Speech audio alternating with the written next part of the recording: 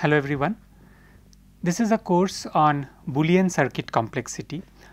Circuits are a non-uniform model of computation that is uh, there is a different circuit for different input lengths.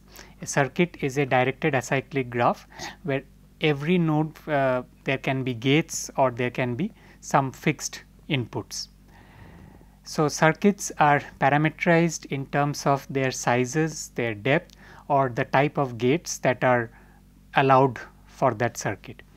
In this course, we will be studying upper and lower bounds on the class of functions that can be computed by circuits of varying sizes and depths. We will also be looking at uh, the connection between circuits and other uniform models of computation such as Turing machines. This is uh, a mathematical course that is the tools that we will be using in this course are primarily mathematical in nature. We will be using tools from linear and abstract algebra, combinatorics, probability statistics and uh, graph theory. Thank you.